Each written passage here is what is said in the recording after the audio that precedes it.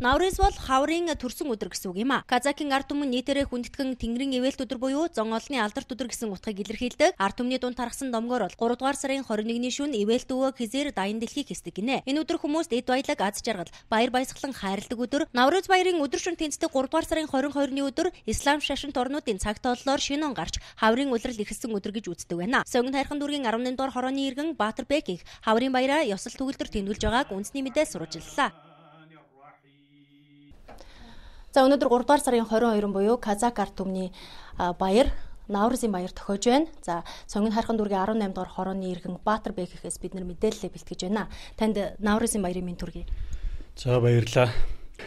Казак арт түмний хаврын баяр буюу Наурзын баяр тохиож байна. 3 сарын 22-ны өдөр өдөр шөн тэнцсэн өдөр зөвхөн Казакийн арт түмний биш.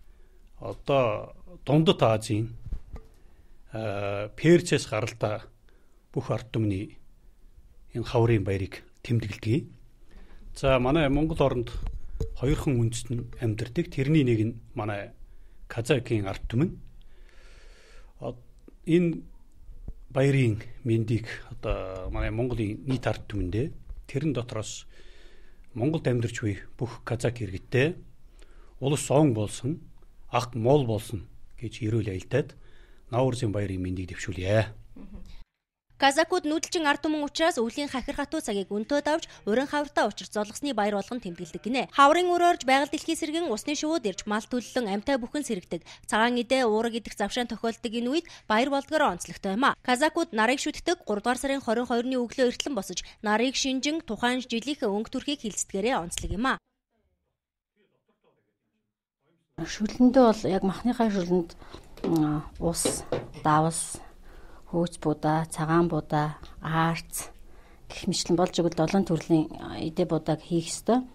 хамгийн гол нь одоо энэ наурс гүрэг гэдэг маань энэ одоо яг аарцтай энэ шүлөөрөө л онцлогтой.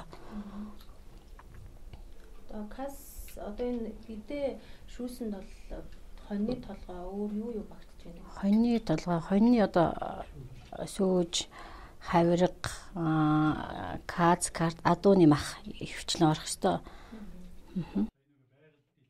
Мөн бүх хүн анхны нар харж нараа хүндэтгэн сэтгэлийн таашаал авч наранд сүүгээ өргөдөг гин гэрийн эцэгтэй нар гэрийн тооныг сүүгээр босхийг таргаар мэлаадаг ёсчгүй наврызын баяраар ахан дүүс хотлолноороо учран золгож ахмдуудаа хүндэтгэн үр хүүхэд залуустаа эрхэм сургаалаа хайрлан өдөж буй оныхаа ажил үс олд амжилтаар шүүн хилцдэг сайхан уламжлалтай юм а.